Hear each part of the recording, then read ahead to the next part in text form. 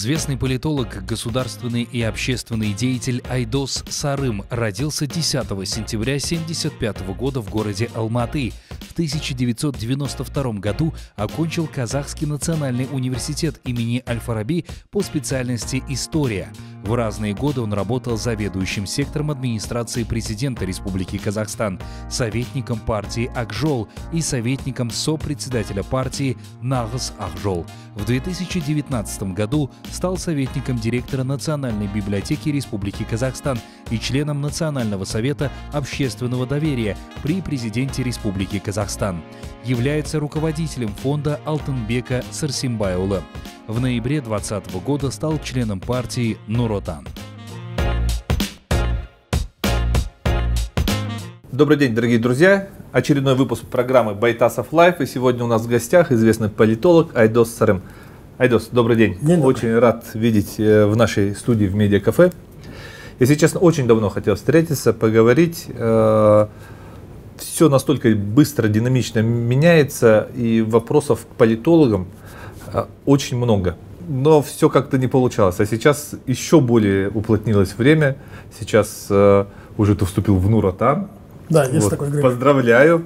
Вот, э, уже э, наверняка включаешься в электоральную борьбу, вот, которая сейчас наступила. Есть такой, да. Да, двигается все. И об этом тоже, конечно же, поговорим. Вот, э, и очень много вопросов, и по национальным вопросам, и по языку, и по геополитике, по месту Казахстана. То есть очень много вопросов. Хочу сказать, что сейчас мы программу записываем э, в декабре, хотя в YouTube ее можно будет посмотреть и в, в любое время. Я думаю, эта программа будет долго-долго пользоваться большим спросом, всех будет интересовать. Э, твое мнение, особенно мнение после 10 января будет интересно будет сравнивать, как все-таки получилось и много ли совпало с мнением политологов.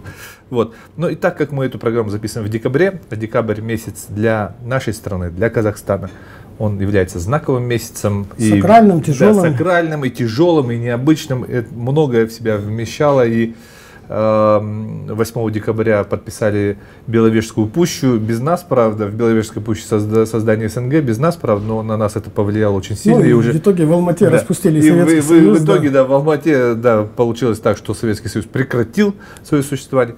В декабре, э, дни, День независимости, 16 декабря, объявили о своем полностью суверенитете Республики Казахстан.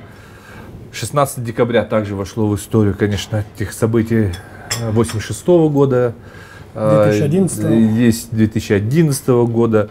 То есть декабрь месяц такой необычный. Поэтому времени у нас, я хотел сказать, что много, можно поразмышлять, пофантазировать и начать, наверное, все-таки событий 29-летней давности, когда страна а, получила возможность стать независимым государством. Вот. А, твое личное, может быть, ощущение, хотя ты, конечно, был молодым человеком, тебе было всего лишь там 15-16 лет, ну, этот момент. Тем не менее, на митинги все и ходили. На, мити, на митинги все ходил, и да. хотелось бы, во-первых, те впечатления, там, когда осознал наконец, наверняка чаять. Вот лично для меня это была самая большая мечта, чтобы Казахстан стал суверенным независимым государством. Меня даже в университете называли в свое время сепаратистом за вот эти высказывания, когда я открывал Конституцию и говорил, Казахстан свободная да. страна, независимая. У нас в Конституции, Конституция кстати, да, года, так, да. так и было записано да? сейчас. Я говорю, ребята, вот, вот, вот так вот. Но э, кстати, не, не, у, не у многих находила поддержки в то. Конституция 78 года тоже примерно вот так же принималась в декабре. По-моему, да, кстати, этом, да, да. ну надо уточнить сейчас отмотать, да, надо отмотать. Как воспринимал вот эти события, которые происходили в декабре 91 -го года, 29 ну, Во-первых, я, несмотря там, что уже заканчивали школу в это время, тем не менее, это был такой период очень такой активный с точки зрения демократических процессов общество бурлило, да, одновременно, ну, было можно назвать два, две, такие, два больших тренда. Угу. Все хотели зарабатывать, и все интересовались политикой. Угу. Ну, естественно, это была бешеная эйфория. Я помню, там вечером уже начали разговоры такие идти. Нас даже в школе директор вызвала. Говорит, ребята, говорит, пусть девочки не ходят, говорит, а мальчикам лучше все-таки э, там, с 8 утра пойти на площадь. Будет большое великое событие. Ага, ничего себе. Ну, у нас тогда же вот как раз в Алмате открывались вот первые русско-казахские школы. Да. Ага. Была, ну, я учился в 12-й, единственной на тот момент казахской школе. А потом уже, когда открылись такие небольшие э, классы и школы там совместные, даже перешел в другую школу. Но, ага. тем не менее, вот такой интерес был. То есть мы где-то там с полдевятого, наверное, стояли на площади угу. в первых рядах. Это когда вот на вот этот, э, я так называю, мавзолей, да, тогда ага. был на площади, где ага. сейчас прогулочная зона. Да. И все ждали буквально. И вот там вот это интенсивные события бешеные. Ага. Э, Улжас Умарыч, по-моему, был, Назарбаев был. Там объявили, что вот наконец Верховный Совет принял декларацию, э, закон о независимости. Закон, да. Потом уже пошли э, такие вещи, как, э, по-моему, первые там США, посольство Турции, вернее, государство Государств, Турции. которые нас да, признавали, да, уже. Что они уже признали, это была просто сумасшедшая энергетика. Ну, насколько я понимаю, я после этого столько народу никогда нигде не видел. Ага. Это, по-моему, 1025 тогда было на площади большой. Ага. И это длилось около 4 или 5 часов, вот со всеми признаниями, со всей этой эйфорией.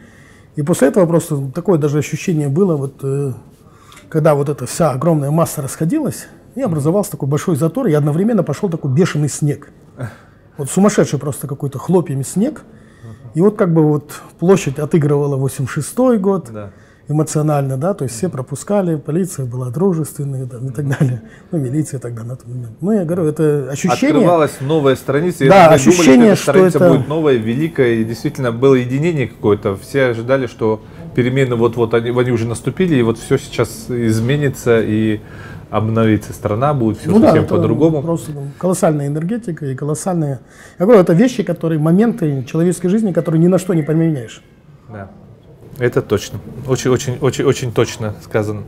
А вот по прошествии вот этих лет, что, что осталось от той эйфории? То ли вот как, уже как политолог, уже как зрелый политик, можно даже сказать, Айдос, а были какие-то же чаяния свои личные, внутренние? Я понимаю, что внутреннее, там, иде, идеальное восприятие мира, конечно, оно резко отличается все равно, но все-таки что-то совпало, что-то получилось, или вот государство, ну, которое... Ну, так получилось, что я как бы вот сразу после школы пошел на государственную службу, я заканчивал заочно, э, и поэтому как бы в этот процесс, скажем, обретения независимости, создания институтов, это вот то, что мы на себе как бы ощутили. И я думаю, в этом смысле я как государственник, абсолютный государственник, это вот то, что неизменно. Да, мы можем быть обижены на что-то, можем быть э, какими-то вещами недовольны, темпами, темпоритмом, очередностью каких-то процессов, но то, что государство – это то, что должно быть незыблемо, это на, на, на чем вот все это держится, это осталось неизменным. Оно неубиваемо. Да? И второе, наверное, такое большое, да, это вот э, сейчас особенно в эпоху там соцсетей и прочее, там очень как-то ну как-то так принято, да, вот э, несколько скажем, считать, что государство это нечто такое плохое, там какой-то вещь, которая представлена против общества или против гражданина, вот с этим я никогда не смирюсь. Я вот эти 30 лет живу цельно, да, я, у меня в этом были свои там взлеты, падения, но эта цельность, она предполагает, что вот это все там есть. Человек, скажем, вот если он 30 лет, он же не может там выкинуть там, от 5 до 7 лет, там, ну, да. с 10 там, до 15 лет и сказать, что этого не было. Мы должны, наверное, вот такую вот э, большую цельность э, и такое восприятие, наверное, э, для себя держать, и в целом как бы с тем потоком истории тоже не разрываться. И вот это, наверное, если мы как бы вот сейчас, вот на, буквально на той неделе была вот госкомиссия по реабилитации жертв политических, политических репрессий, репрессий да. и там тоже об этом говорилось, вот мы должны для себя обратно вот этот весь 20 век, тяжелый век, да, там, во всей его сложности воспринимать, с одной стороны, снова с ним встретиться, а во-вторых, закрыть 20 век и начать жить в 21-м. У, по-моему, у Карпентера, да, Олега Карпентера было такое выражение, он там описывал э, аргентинское общество своего времени. Он сказал, наша история, говорит, это такая говорит, разобранная штука, когда на одном пространстве, то есть ни одно событие не закрыто, она может, несмотря на то, что там прошло и тысячи лет, и 500 лет, и 200 лет, до сих пор будоражить и волновать людей. Вопросы остаются, да? Да, то есть они, ну, условно говоря, да, вот у нас то же самое, там, кинесары, там, еще что-то, да, там, партия Алаш. У нас есть, есть незакрытые как бы, Вот эти все незакрытые вещи, они в итоге будоражат, и получается, что, говорит, на одном пространстве в одно время живут троглодиты условные, да, там, и, скажем, жители, там, 21 века, там. Угу. И у нас то же самое. И нам, по-хорошему, нужна очень сильная гуманитарная наука, очень сильный писательский корпус, очень сильные текстовики, которые просто будут историю брать, осмысливать ее, рефлексировать и закрывать ее. Потому что, ну, безусловно, это вот, э, книга должна быть собрана, то есть это не должны быть вот эти листочки, да, это... разбросанные по столу. Да. И тогда, наверное, будет некое ощущение, что мы будем смотреть все-таки вперед. А пока же есть такое ощущение, что мы идем вперед, оглядываясь назад. Мне очень э, нравится э, вот твоя фраза «я государственник». Я, если честно, когда готовился к программе, выписал ее, я прямо взял ее как эпиграф для себя, э, потому что мне эта позиция очень близка.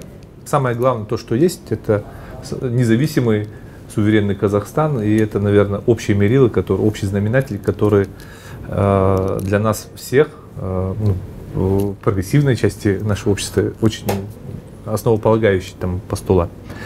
Э, если вот посмотреть, вот сам говоришь о том, что э, есть проблемы с тем, что история не собрана, еще все по отдельным листочкам лежит, да, как бы, и это не есть хорошо, да.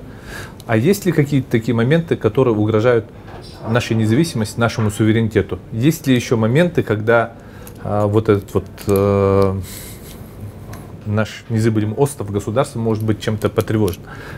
Скажу, ну, это вот такая вещь. Там говорят, я, я сам с этим э, согласен, да, то, что если будет беспредельная, беспринципная коррупция, которая там вот э, вызывает раздражение и чувство неудовлетворенности, да, как бы в обществе, да, и нарушает чувство справедливости, это прямая угроза э, утраты суверенитета, потери независимости. Еще какие есть угрозы, вот, которые могли бы быть угрозой нашему суверенитету, нашей независимости? Ну, смотрите, я думаю, что э, ни одна страна мира не стала суверенной в тот момент, когда она провозгласила да, свой суверенитет, независимость. Можно взять Индию, да, то есть и там было формальное провозглашение, потом реальная независимость. И тем не менее, там тоже до сих пор это идет. Говорят, что вот, дескать, сейчас, когда вот Индия наконец-то пришла к тому, что начинает отрицать кастовое общество, да, поднимать вопросы проблем э, прав женщин. Там же просто сумасшедшая ситуация же, да, что и вот некоторые индийские, скажем, политологи, философы говорят, что реально Индия становится другой сейчас, да, при Нарендре Моди.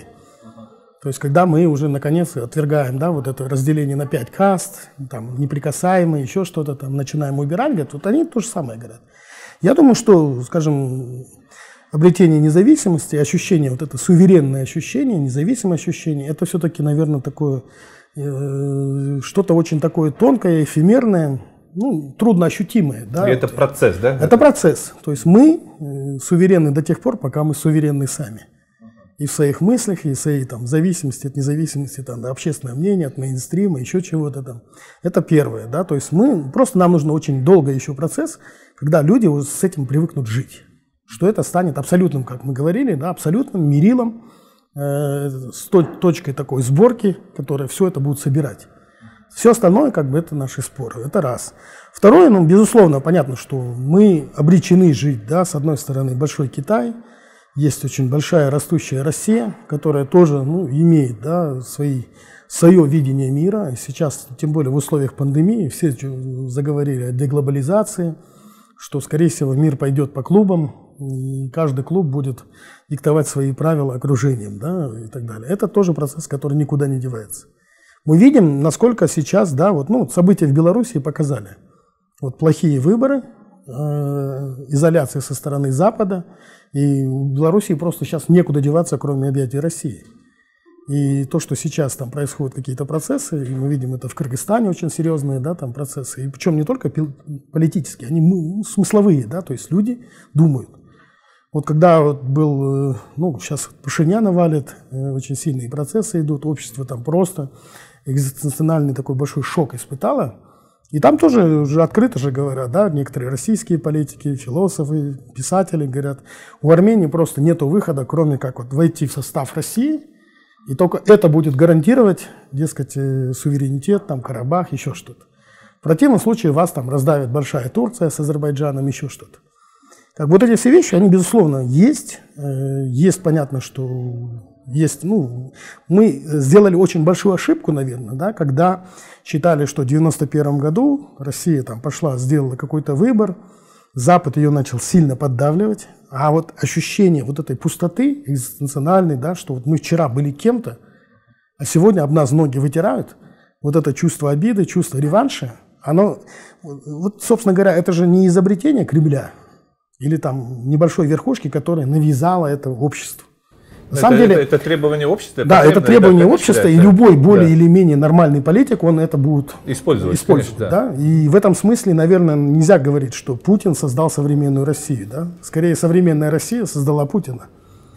И просто уже потом ловушки, ошибки и прочие, прочие, прочие вещи. То есть вот это ощущение, да, и у нас же тоже до сих пор еще, ну, не будем скрывать, есть граждане, которые считают, что Казахстан должен все-таки рано или поздно там одуматься и вернуться в состав там, империи, там еще что-то. И даже среди казахов такие люди есть. То есть вот эта часть, они, это большой как бы вопрос. Ну и, собственно говоря, да, есть всегда угроза стать недогосударством, да, failed state. А, она может по-разному да, происходить. Ну, условно говоря, да, можно взять Гаити. Небольшой остров, произошло страшнейшее землетрясение, и после этого государство рассыпалось и никто не хочет его собирать. И внутри даже боли нету. Да. да. И вот, собственно говоря, вот именно потеря вот этой энергетики, потеря вот этой цельности, угу. это есть самая, может, большая угроза.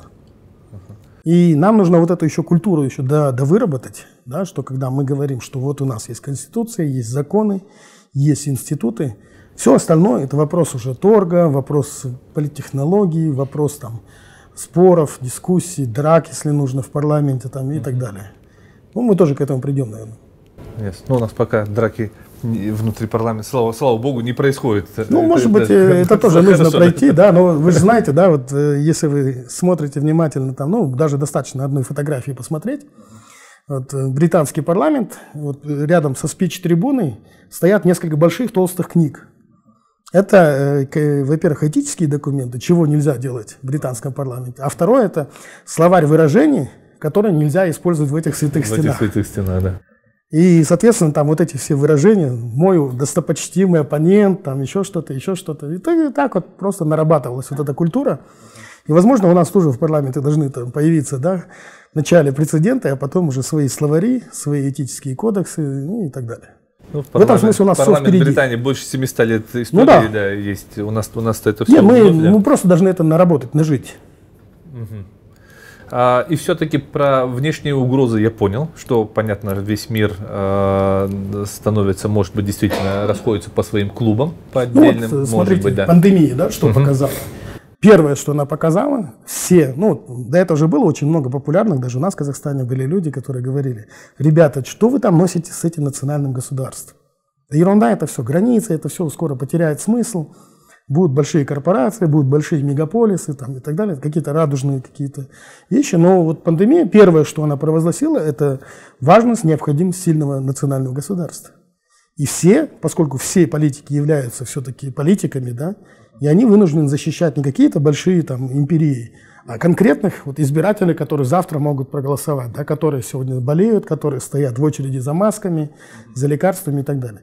И в этом смысле, наверное, сейчас ну, мир ждет такой расцвет да, вот, национальных государств, национальный да? да, национальной политики. И есть... Все кинулись же спасать своих граждан. Нет, конечно, а как, как по-другому? Ну и по-другому это, быть это, не может. Это, это, это любое государство, будь то демократическое государство, Неважно будь то какой, авторитарный да. режим, все в любом случае за свои народы в конце концов, демократическое государство – это голоса будущих избирателей. Да, об этом Авторитарные речь. режимы, если ты не будешь заботиться о народе, просто снесут. Да. И все, все очень резко поменяется. Вот. А, и все-таки я так понимаю, что а, мы больше говорим про внешние факторы, а внутри у нас э, все ли спокойно? Мы вообще можем себя идентифицировать, что вот у нас все нормально и нету, скажем, заложенной так взрывчатки замедленного действия, который может разорвать страну изнутри? Ну, если мы говорим за это, что у нас это первый все-таки межетника, да? Да. Ну, Навер, наверное. Нет, нет это безусловно межет, так. Нет, межетника это не только. У нас есть и большой разрыв между богатыми и бедными. Тоже Нет, серьезно. богатые и бедные. Есть то есть религиозные вопросы. Да, справедливости, да, понимаемые да. разные. Да, то есть это абсолютно недостижимый идеал, я так понимаю. Но тем не менее он очень многих плющит. И давайте не будем забывать, да, что все-таки 90-е годы Казахстан это, ну, прожил, прожил один этап, сейчас нужно войти в другой этап. Это как вот этот, э, у и Петрова, помните, да, эпоха немого кино закончилась, цветового еще не началось. Мы, в принципе, к этому вот сейчас переходим. Сейчас время, когда те общественные договора, которые были в 90-х, они закончились. Вот заметьте, да, когда у нас начались там митинги, когда у нас большая недовольность. Я вот объясняю это очень просто. Да. Во-первых, народилось очень много, большое новое поколение, которая не влезает в старую экономику. Старая экономика, которая не позволяет им встроиться. Да? Вот мы впервые, наверное, признаем, что раньше мы гордились, да, по крайней мере. Вот мы там, в отличие от кыргызов, узбеков, никуда не отправляем гастарбайтеров и так далее. Сейчас мы признаем, да, у нас и в Норвегии есть гастарбайтеры, в Южной Корее есть, еще где-то есть, наверное, будут. И это тоже как бы данность, да. Ну вот представьте себе, в этом году в школы пошло 400 тысяч первоклашек. Через 10 лет они бурно войдут в трудовой рынок, образовательный рынок и так далее. Вот в эти годы у нас как раз вот рост шел, и получается, что в какие-то годы и 250 тысяч, и 300 тысяч человек выходили на этот рынок. Та экономика, которая была нефтяная, назовем, другой, петроэкономика, петростан, там, как бы они назвали, она все-таки не способна обеспечить их всех. И, соответственно, вот этот, вот если мы, скажем, за точку отсчета возьмем там 2009-2010 годы, когда был пик, да, вот наибольшая там доля, ну, уже почти приближались ВВП душу, на душу населения где-то 14 тысяч. 14-15 тысяч, да. Да, а сейчас мы провалились до 8-9. Да, вот, ну, получается, что это, оказывается, экономика такая, что хитрая штука. И вот с этого времени вот это недовольство, она и нарастала. И она и связана, вот, она активизировала политические процессы, она э, увеличила просто колоссальным образом чувство тревожности. И вот эти вот все процессы, которые все происходили вокруг земельного кодекса, вокруг создания Евразийского союза и так далее, она вот проистекает из этой тревожности, да, из вот этого чувства неудовлетворенности, да, обманутости, заброшенности да, ага. и так далее. И вот этот неуют, по сути говоря, вот он создает сегодняшний протест. Он еще не, не абсолютен, он, про него нельзя говорить, что он там колоссальный, да, он не оформился, да, да, он еще, да, да, он еще нуждается, да, в политическом осмыслении, понимании. Это не быстрые процессы. Но тем не менее это есть, это реальность, в которой мы живем. А теперь давайте это помножим на социальные сети, эффекты эхокамер, э, рост популизма, демагогии и прочих вещей. Да, это здесь проблема. А э, этнич, на этническом уровне вот по, по есть там угроза, то, что тоже может Не, ну смотрите, вот мы сейчас ну, видим, да, что, скажем, когда мы объявляли независимость, казахи были этническим меньшинством, ну, по крайней мере, одна, одной третью, да, собственно, населения. Нет, почему? 42 процента? Нет, 39 процентов. 89 -го года. Ну, перепись вот, да, я, и так далее. Ну, быть, то есть мы же многие вещи даже боялись просто назвать своими вещами, да, и вот это все компромиссы. Были танцы, да. Вокруг, да, да, и я вот как называть государство, да, там была там реакция даже, вот, ну, по-моему, Воронов недавно кто-то писал, да, что даже он, будучи там русским, предлагал казахское, да, республикой называть, а тут сами наши казахи, да, сказали, давайте не будем раздражать, есть там еще 40% русских, есть 20% иных этносов. И сейчас вот это вот как бы многообразие, она все-таки больше идет в такой в монохром, да, ну, мы еще не моногосударство, конечно, далеко нам до этого. Не Но, тем не менее, эти, эти ощущения надо учитывать. И мы видим же, что сегодня, да, как раздают, ну, вот недавно было большое интервью Лаврова, да, он тоже уже открытым текстом нам уже так подсказывает, да, ребята, ну, надо учитывать интересы русского населения, там еще что-то.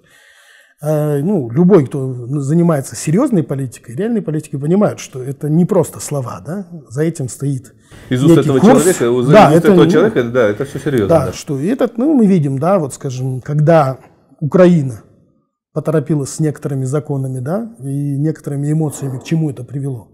И самое главное, если брать украинский кейс, это колоссальный провал государства, да, когда в один момент образовался вакуум власти – этот вакуум власти не было неким запомнить. Вот один убежал куда-то там, прятался там, то ли в Крыму, то ли там в Харькове, то ли еще где-то. И получается, по сути, ну вот представьте себе, да, в Крыму стоял ну, почти там 40-тысячный э, контингент украинских войск, да. включая спецназ и так далее. Стояло огромное количество полиции, каких-то других сил. И никто из них просто не взял в руку черенок и не пошел драться с, с этими зелеными человечками. Ну, за свою, за свою страну не стал да. Да, бороться, по идее. Ну, понятно, что там разные степени коррупции, там продажности, перекуп, ну, генералов перекупили. Об этом еще много будет написано, я думаю. Я думаю, скоро будет написано. Да, потому что там сейчас уже, ну, даже вот, когда Карабахский кейс произошел, первое, что было сделано, это обвинили начальника генштаба, представьте себе, государственную измене и уровень, скажем, э, вовлеченности, да, и инспирации тех или иных там, военных чиновников, он оставляет да, вопросы, если серьезно заниматься этим. То есть вот это все, эта данность, в которой мы живем, это все надо учитывать. И мы видим, да, вот все проблемы, которые есть на постсовке, которые для нас более понятен, они случались именно в те моменты, когда случался вакуум власти. Вот вспомним 92-93 год, вот Карабахский кейс, да, власть рассыпалась, Ильчебей там вроде бы ходил, там говорил что-то, но при этом оказалось, что Карабах и 7 районов Азербайджана заняли армяне. Можно вспомнить э, Грузию, да, где тоже пришел к власти популист, политик, который начал заниматься ну, очень быстрыми, да, простыми решениями, что автомат, да, автомат лучше, чем переговоры и прочее. И это привело там, ну, я считаю, наверное, скорее всего, вечные потери Абхазии и Южной Осетии. Все-таки эти новообразования, которые там создались, они уже достаточно долго живут ну, в каком-то режиме, да, пусть, ну, не, не назовем но, это суверенитетом но, или независимостью. Но не внутри, да. Но не внутри. Но не внутри, да. Да, понятно, что есть, наверное, теоретически один момент, когда Грузия станет супербогатым государством, и когда у этих же абхазов, у этих же осетин появится желание, да, вот мы, ребята, все-таки давайте подумаем, вот есть там автономия, еще какие-то форматы, да. Ну, это тоже очень труднодостижимо, да, все-таки независимость – это очень сильная штука, это очень сильный наркотик, и когда вот такое вот проживание происходит, это сложно. Я вам могу маленький пример привести. В Турции есть э, такой народ лазы. Это считается мусульманизированные грузины. Их там, а, да. да, около двух миллионов, трех миллионов и так далее. Да, вот да, да. всегда они были таким... Их меньше даже. Да, и они даже меньше, да, миллион, да, скажем, да, миллион. Но да. интересная штука. Э, в 70-е годы появился немец. Я сейчас фамилию запамятовал, но интересная штука какая. Он там ходил там по горам, еще что-то, еще что-то, и влюбился в этот народ. Ну, считается, что он влюбился. Он поехал в Германию, создал центр ласской культуры. Он разработал Алфавит, по-моему, алфавит. Да? алфавит для них разработал. Да, алфавит. Там. И если раньше они все говорили на турецком, а теперь появилось э, желание создавать детские сады на ласском языке, э, еще что-то, еще что-то. И, и из какой-то какой вот химеры вот это все обрело политическое тело. Это смысл, национальный смысл. Да, теперь, да то есть я к тому это... говорю, что в принципе это нельзя сказать, что вот у нас есть такая-то этническая картина или есть такая-то политическая картина, и она будет неизменным во веки веков. За вот этими вещами надо очень пристально смотреть. Я вот, ну, мы всегда понимаем же, что у нас страна очень большая.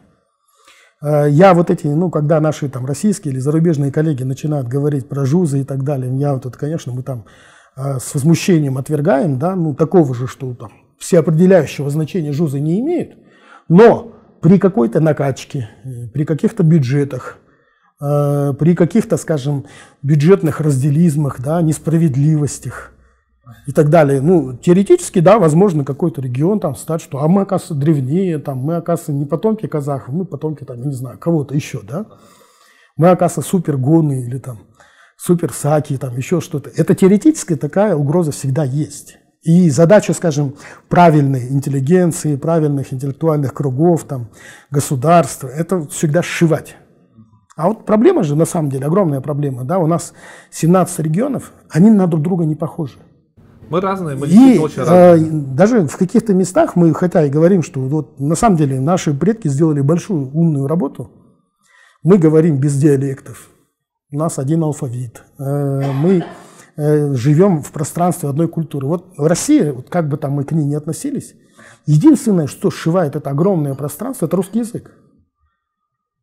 Вот по большому счету. Ну, по большому счету, да, правда, сейчас Потому что хотя... вот эта культура, которая с этим языком связана, там все любят Пугачеву, там все слушают там рэп, еще что-то. Читали Толстого. Читали Толстого в школе, там Пушкина и прочее. Все считают Пушкина там солнцем русской да. поэзии еще и так далее. Вот это вот культура и производные этого языка и так далее. У нас даже этого нет, по большому счету. Мы говорим там на двух языках, на разных ментальных языках. Э, у нас есть разные регионы, из которых только четыре, да, так или иначе являются донорами республиканского бюджета. И это все тоже на самом деле вот региональные диспропорции. Э, ну, у нас есть регионы, которые на 92, на 94 процента субсидируются. При том, что там очень большая теневая экономика, люди хотят э, как бы получать ништяки, но при этом не хотят светиться, там, с белую работать, еще что-то. Или вообще не хотят работать, да? Ну или вообще не хотят работать. Это тоже фактор, да. То есть мы же, когда вот сейчас признается что в структуре населения 4-5% это поколение НИИТ, да, которые не хотят работать, не хотят учиться. Ну и вообще сейчас же, вот как бы вот если брать теорию поколений, интересное время, да, вот у американцев они впервые столкнулись с тем, что оказалось 15-16-летние не хотят получать права. Да, не хотят быть взрослыми, за, за машин. да, то есть они говорят, ну зачем вот это, да, Да, у нас вот можно, Uber заказал, да, да, соседа там можно прокатиться, можно там экономика, совместное потребление, не хотят расти, да, то есть, ну, представь себе американцы, да, которые выросли на том, что у них первый секс случается в машине, да, что это принцип взросления, там еще что-то. А сейчас пришло поколение, которые вот в одной комнате сидят, и они общаются через свои сотовые телефоны, да, вот это их все общение. А зачем?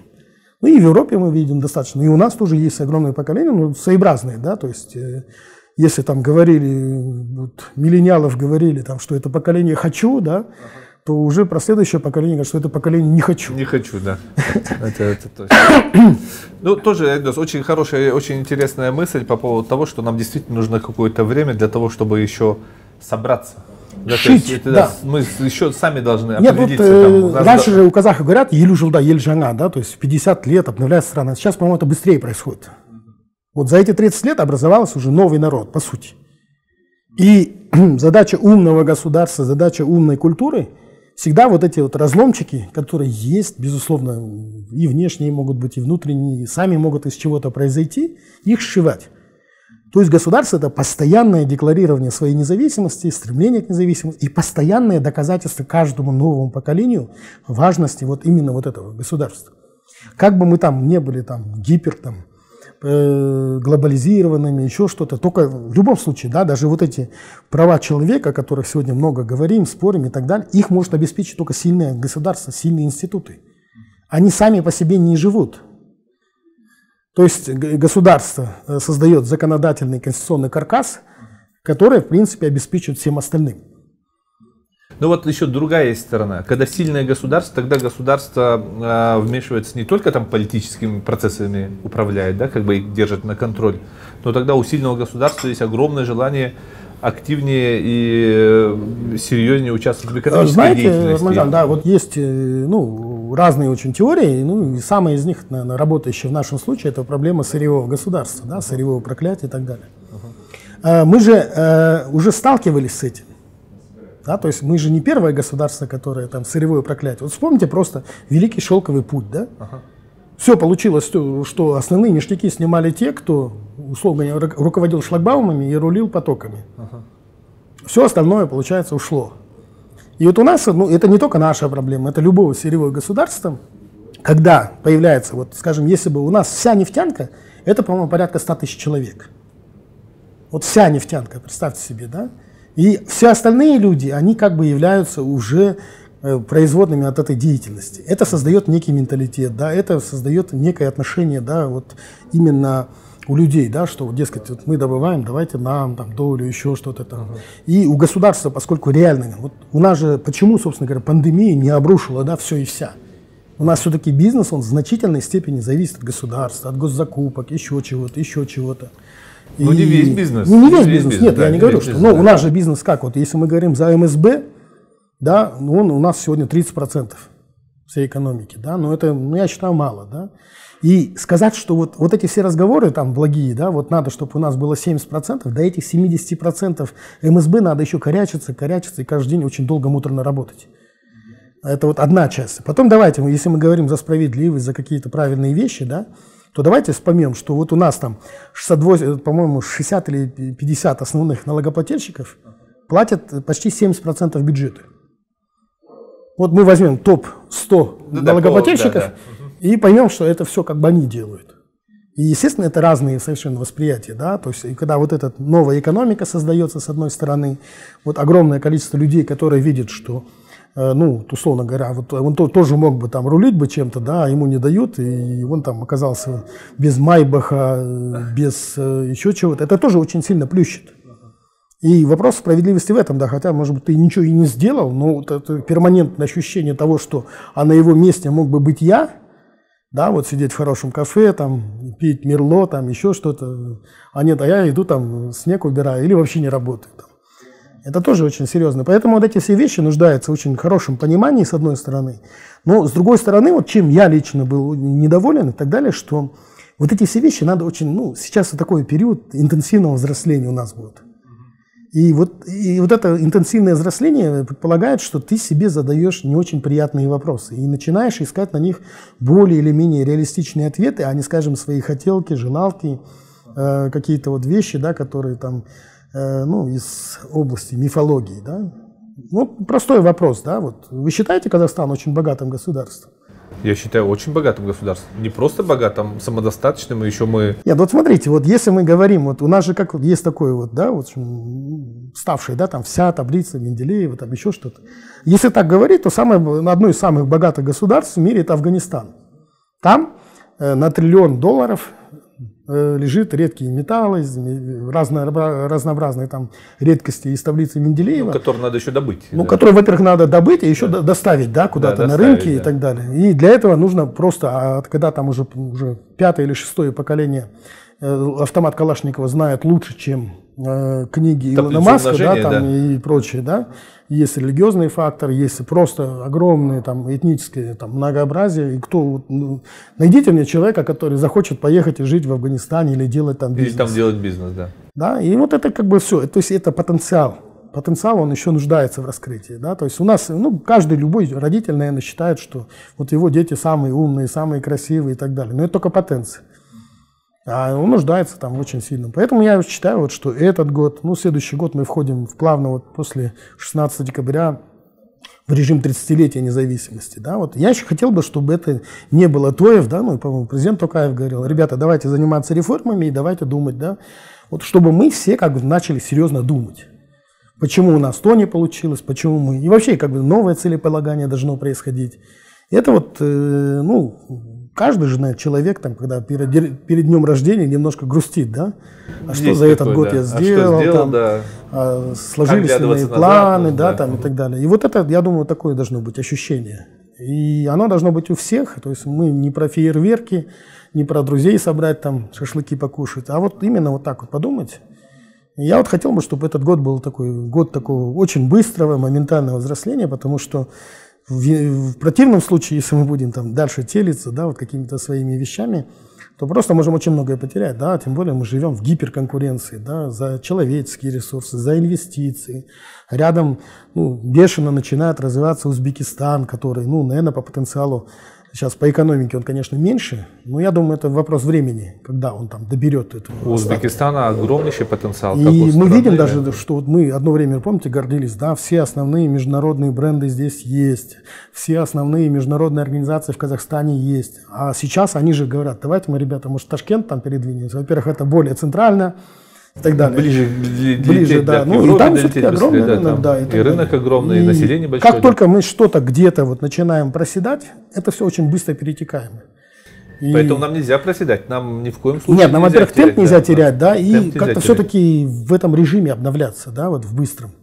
Потом, смотрите, мы живем как в сумасшедшее время, вы сами прекрасно знаете, издаете Forbes, каждые 10 лет лидеры меняются, если брать там начало века, там мы больше половины компаний, там просто их нету, да, в природе. Сегодня да. э, поглотились, еще что-то. Да, даже далеко ходить не будем. Давайте вспомним э, тему, которую мы хорошо знаем. Там, ну, скажем, первая пятидесятка там 95-го года.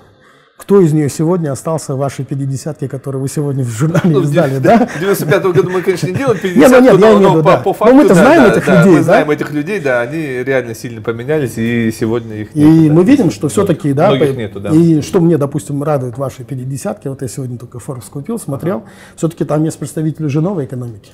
Конечно, есть представитель новой экономики, и это и, и не сырьевой экономики. И не, не сырьевой экономики, да, это хорошо. Да, в Казахстане, на самом деле у Казахстана огромный потенциал, и я верю, что в экономическом плане мы будем расти. Даже одно IPO, а, которое сделал Каспий. Да, это, Каспий, это, ну, это несмотря это, на пандемию. Да, да несмотря на это... пандемию, невзирая на что. И все-таки нужно понимать, что ребята создали компанию многомиллиардную по стоимости. Основной рынок, который и работает, который внутри Казахстана. То есть это, по сути дела, оценка общая страновая. Это страновая да, оценка, это да. страновая. То есть это, Это они, то, каждый- тот кейс, которым мы можем, безусловно, гордиться, да, вот, ну, причем я вот э, ребятам, которые с Каспи говорю, даже на казахском языке уже появился глагол, как гуглить, да, Да. ксерить. Да. Я говорю, Каспилите салши, говорят. Да, точно, да. Каспини мне, говорят, денежку, Да, да, Каспини там. мне деньги, да. Слышал, Ну, да. это, вообще- это считается. Да. Когда твой бизнес становится частью языка, да, он оформляет некий глагол и некое действие, это считается. Бабушка в ауле, таксист на улице, у них это стоит. Это круто. Окей, хорошо, это понятно. Давай поговорим про современные, да, как бы э, Актуальные, наличные, актуальные, да, да. да, которые процессы, которые сейчас происходят, и вот политические события действительно очень серьезные э, происходят в данный момент. Идет э, подготовка к выборам в парламент, что очень важно. И а, вся, вся интрига, наверное, еще все-таки впереди, но вроде бы, как говорят, интриги нет, потому что в очередной раз победит Нуратан. Ну, окей, хорошо, наверное, наверное, с этим сейчас спорить не будем. Первое. Как и почему принял решение сам лично вступить в партию Нуратан и с какими идеями, с какими целями пришел в партию? Ну, я думаю, скажем, мой выбор, он, наверное, продиктован в целом контекстом, да, то есть не было желания становиться там вот именно депутатом сейчас, да, и так далее. Просто когда ты очень долго, да, говоришь про какие-то вещи, ну, про необходимость там реформ, ну, мы, наверное, говорим лет 10-15. И критиковали, и даже злобно критиковали и так далее, но тем не менее, эта вся критика, она есть, да, вот. И когда мы, я, по крайней мере, увидел, что у государства сейчас, ну, во-первых, нету шансов не проводить реформы, даже если нефть там будет заоблачно стоить деньги, нам в любом случае эти реформы нужны. Даже для самосохранения власти они нужны. Причем и политические реформы, и И экономические. экономически, да. и да, И потому что другие. они, вот э, это раньше было, да, возможно, говорить, что экономика это отдельно, политика это отдельно. Сейчас нет, нереально. Просто сама структура новой экономики, про которую мы хотим и которую мы говорим, да, чтобы вот хотя бы доля МСБ каждый год росла на процент. Да, вот сейчас у Нарутана вот такой, э, скажем, за 5 лет увеличить на 5%. Это вот кто-то может сказать, а, недостаточно, я был бы, тут все было по-другому. Нет, это не так совсем, да. Э, Вот мы говорим за эти реформы. И, соответственно, когда ты очень много говоришь, возникает и такое, да, ответное. Тайдос, а давай так. Вот ты где хочешь. Вот, ну, реальная, самая настоящая политика везде, всегда, это законы и бюджет. По большому счету, да, конечно. Вот Если смотрите, вот, да, говорим, нет, я конечно, говорю, да. вот смотрите, американцы, да, вот у них двухпартийная система, но вся основная интрига идет вокруг того, сколько у нас в этом году будет после этих выборов налоги. Там они могут поспорить, да, Крым чей, там еще что-то там, или там Россия угрожает, не угрожает, вмешивается в выборы, нет. Но реальная большая интрига происходит вокруг налогов. Приходят республиканцы, они их налоги снижают, приходят демократы, они их увеличивают, да, на социальные нужды и так далее. Это главная интрига. Даже Трамп, вот это все, несистемный там политик, это все остальное, да. Вот элементарно, прошлый год весь мы бодались э, по закону о митингах и так далее. Вот мое убеждение, да, вот, ну, физически просто не хватило людей, э, скажем, более демократической повесткой, да, реформаторской повесткой на тот момент, который в нынешнем Мажилисе. А все-таки э, нынешний Мажилис это тоже явление своего рода, да, она тоже производная нашего общества. Э, И, соответственно, когда говорят, Айдос, ну давай ты вот это все говоришь, все, хорошо, да, мы согласны, да, вперед, ну давай тогда займись. Приходи и работай. И на этот аргумент на самом деле очень трудно сказать нет, да, или строить из себя там чебурашку, конька, горбунка, еще что-то, это как-то даже... Да, вставать в красивую позу, Да, критиковать всех. Да, я вот да. давайте я буду весь в белом, Да, там да, на да. белом коне, там в белом фраке и так далее. Нет, это вот в то время, когда надо э, закатывать рукава и начинать заниматься, спорить и так далее. И Ну, если мы работать, да. сейчас говорим о том, что выборы пройдут, после выборов, ну, надо будет несколько очень больших вещей делать, да. Первый вопрос, который будет, он стоит в повестке дня. Вот в следующем году заканчивается действие земельного кодекса. Вот тот мораторий, который ввели пятилетний. В любом случае, нам надо отвечать на этот вопрос. Если мы не готовы договориться, тогда надо его пролонгировать. Пусть тогда через 10 лет приходит, может, более рациональное поколение, э, которые уже не будут там э, жить вот этими страхами, фобией, там, русофобией, там, синофобией, еще и так далее, и которые уже будут более свободны да, от этих там, вещей, и тогда они пусть принимают. Это будет более честно. Вот. Большой вопрос – это социальный кодекс. Вот сейчас он в работе. Э, там очень много споров есть, но я считаю, что вот этот социальный кодекс, как бы мы там к нему не относились, он должен определить на ближайшие 10 лет хотя бы основной перечень обязательств государства в одном пакете. Вот казалось бы, да, вот мы, э, я вот в Алмате, вот в общественном совете был, я занимался вот проблемой многодетных матерей, да, мы создавали вот эти центры Бахтот-Баса. Я вам скажу так вот, да, вот, что у нас, вот, при том, что вроде бы цифровизируемся и так далее, но существует несколько списков. Да, у Министерства труда одна цифра, там, у этих другая, у районных хакимов третья.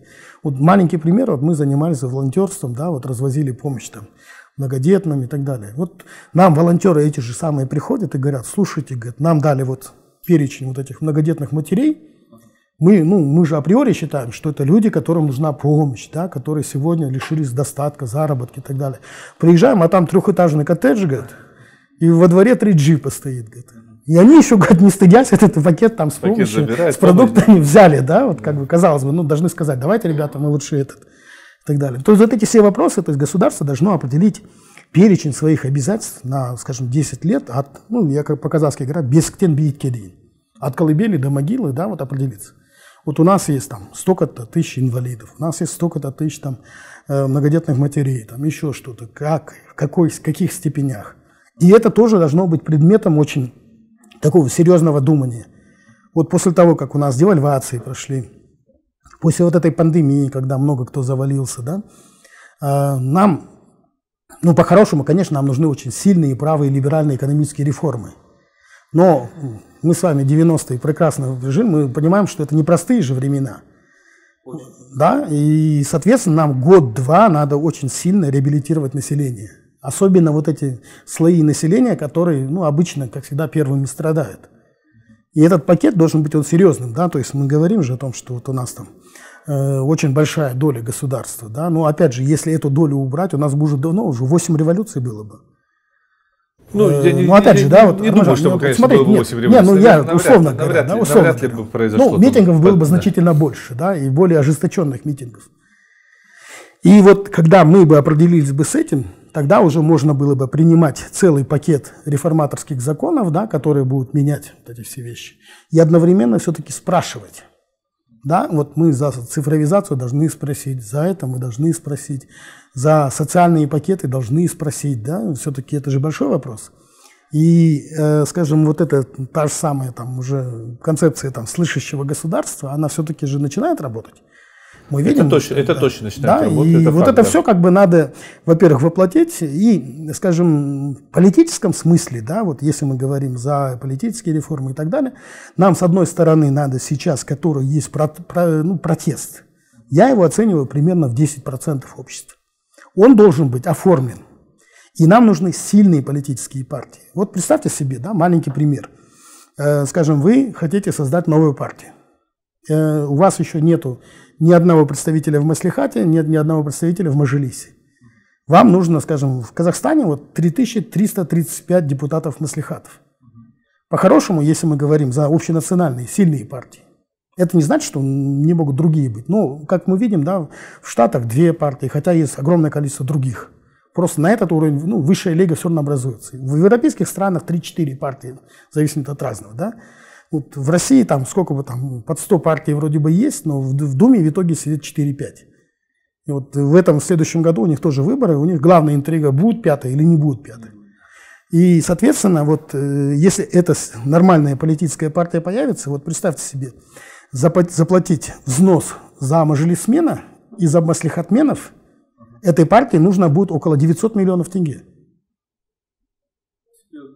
Вот США, где есть огромная демократическая традиция, есть э, класс людей, который живет политикой, который понимает, да, что политика и налоги это влияет на бизнес, у них есть там жесточайшие ограничения для бизнеса.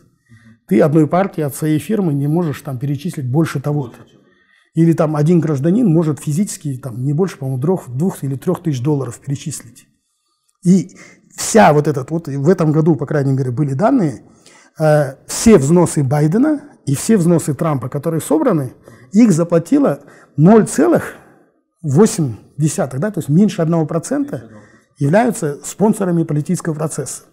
В наших условиях это, понятно, еще меньше. И, соответственно, нам нужно, почему большие партии? Э, вот Алматы, прекрасный город, в котором мы с вами живем. За эти 29 лет не было ни одного случая, когда кто-то предложил альтернативный бюджет. Вот просто сами посчитали, не умные экономисты, бухгалтеры сели бы посчитали, нет, нам нужен такой-то бюджет. Или, скажем, нам нужна отдельная городская программа развития культуры, я не знаю, там развитие туристического Ну, бизнеса. единственное, что я смогу сказать, что в Алматы, когда сидели ребята серьезные политики, э, тот же Алтыбек Сарсимбаев, Ураз Али, Джандосов, э, Алихан Байминов, они альтернативный бюджет предлагали для всего Казахстана. Да, для всего Казахстана. Нет, я имею в очень виду, нет. хорошо, А нет, для у нас же Алматы, да, для нет. Алматы не предлагали. большинство, да. большинство людей все-таки живут не в столицах. Ну, 80% населения точно живет не в столицах. И реально, скажем, произволом со стороны центральной власти они не сталкиваются. Да? Они живут под конкретным вот в районе, конкретном ауле и так далее. И нам же нужно, чтобы там, вот, ну, да вот давайте ходить не будем. Вот сейчас сядем в машину, проедем в 50 километров в любую сторону, в любой зайдем поселок, райцентр, и мы увидим, что там политической жизни никакой нет. Там есть Нурутан, есть ассамблеи, наверное, совет ветеранов, совет матерей, наверное, есть. А, наверное, есть представительство от Амикена, да, поскольку какой-то бизнес там есть.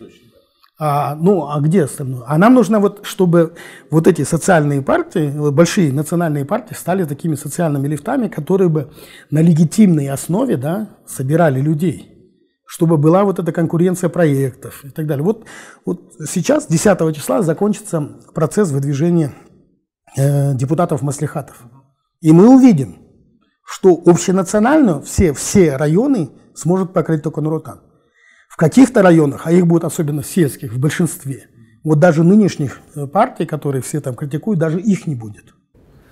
Я согласен, Андрей. Э, Здесь, здесь э, в принципе, и говорить-то нечего, потому что это, этот факт знает в- во всем Ну да, то есть нам, Нуротан- Нуротан, нам да, сейчас вот кто- в идеале вот за эти, скажем, пять лет там будущее, да, создать еще две-три сильные кочки, где люди будут собираться, где люди, ну, появится новая, да, там, желательно, конечно, оппозиционная партия, которая вот сможет все покрыть, вытащить как минимум 3300 депутатов, вытащить 10 тысяч наблюдателей, вытащить там активистов и так далее, тогда это будет серьезно.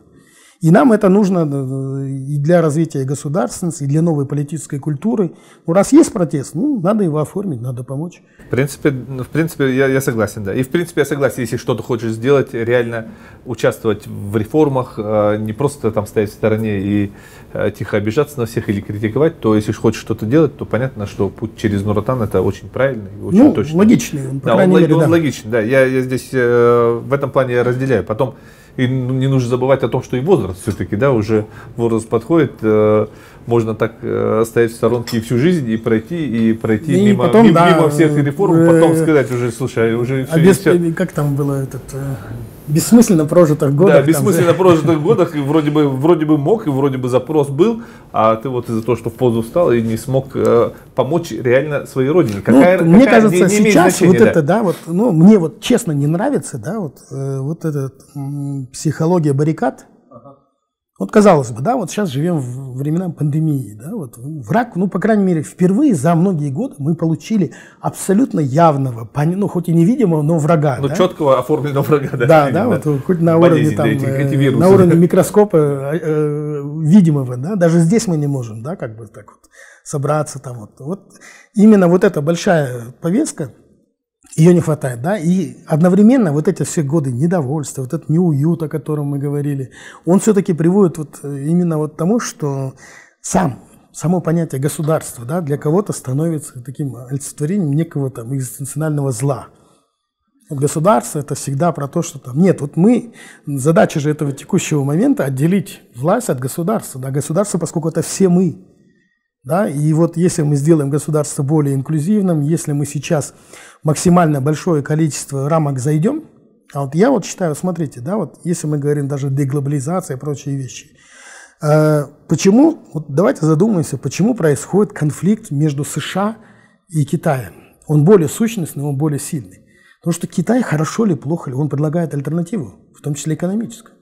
Да, мы коммунисты, да, у нас Мао Цзэдун до сих пор на площади Да, лежит пор, да. и так далее, да, и, везде, да. и очень много стран начинают смотреть, оказывается нет, ну там же и более серьезные люди, да, социальный идентификационный вот этот кодекс, да, прочие вещи, там слежка в интернете, китайский фаервол и так далее, но тем не менее это же система, это И миросистема. эта- И эта система работает, да, у них. Ну, по крайней мере, вот полтора миллиарда человек, да, каждый день растут, каждый день там становится больше миллиардеров, больше бизнесменов, миллионеров.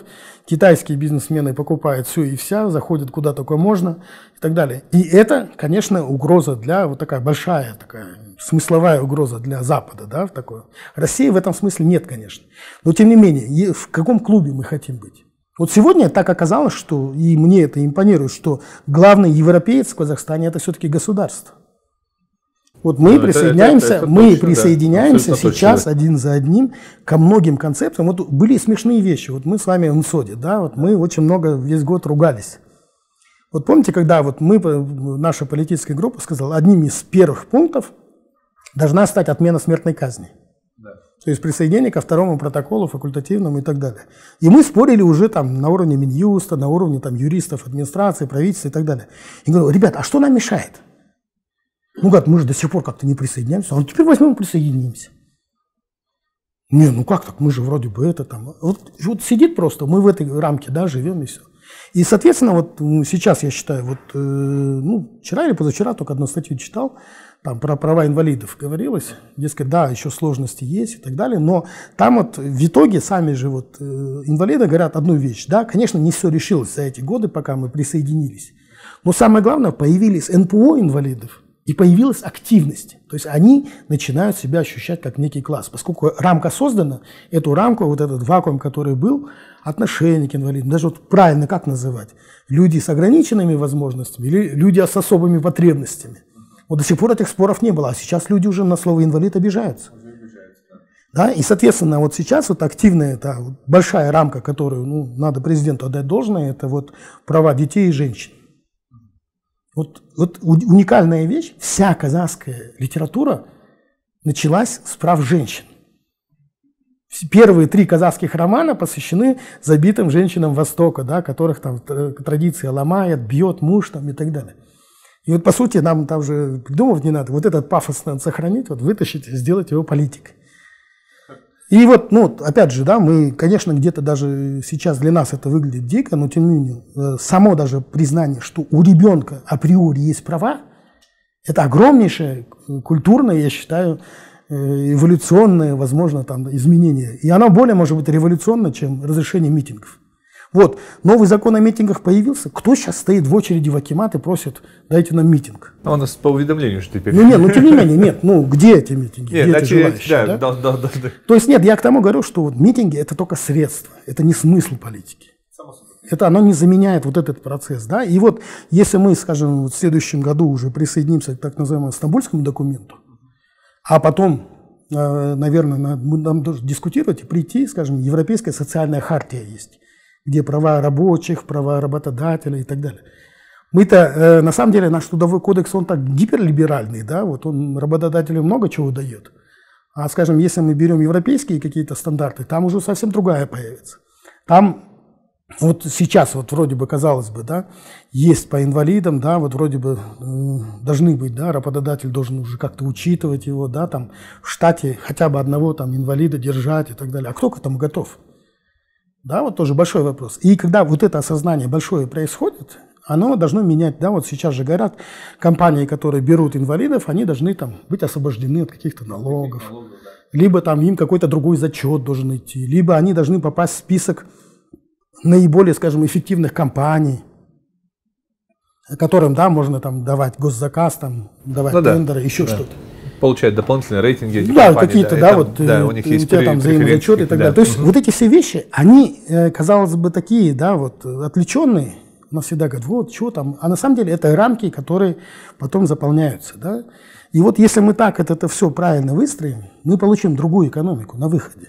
Оно не быстро будет, да, надо ломать вот этот наш менталитет, надо ломать вот эти, да, давай там делись, там этот, ну, как бы там, наши вот эти все вещи. Я вот уверен, вот, э, и почему это важно?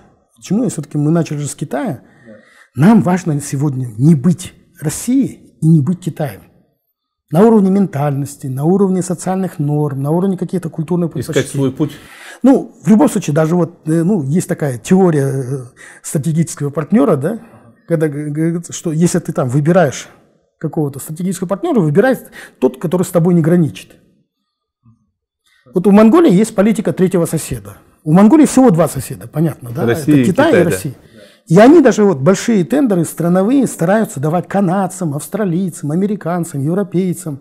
Потому Но что, не Китай, не Россия, да? Ну, не Китай, не Россия. Ну, по крайней мере, крупные стратегические контракты. И даже у нас шанс есть туда зайти, да, там и так далее. Ну, вот, интересно, я не слышал про это. Вот у них да, это, интересно, да. это, это, это, понятно, что это не написано, да, это же дискриминирует. Не, писанные правила, да? Они говорят, да, это политика третьего соседа. То есть соседи, которых вроде бы нету, ну, которые они есть, да. И вот, условно говоря, вот ну, за последние годы, вот я считаю, вот один из хороших, ну, франчайзинг, да, взять. Страна, в которой есть 100 глобальных брендов, это уже там процентов на 70 страна, которая защищена. Вот нам нужны Макдоналдсы, нам нужны вот эти большие компании, и которые сворачиваются, да, которые, да. наоборот, заходят, видят в этом перспективу. Но для этого мы должны создать комфортные условия для инвесторов. Инвестиционный мы должны, мы бизнес. Должны, мы должны им сказать, что у нас э, здесь законы правильные, что эти законы Абсолютный приоритет да, закона. Там, да. Да, вот нам бы, вот, ну помните вот эта дискуссия, да, когда мы спорили и критиковали, что МФЦА создает свой суд для инвесторов. Да. Это Понятно, что это такая сложная да, схема. Да, вот, Конструкция ребята. очень сложная, но... Хотя у нас, получается, мы уже дискриминируем свой бизнес. Почему там, дескать, они там получают там более комфортный суд, а мы тут должны идти в меж, межрайонный какой-нибудь там административный суд и там судиться, да искать там взятку давать кому и так далее. Нам нужен суд сам по себе, да, вот.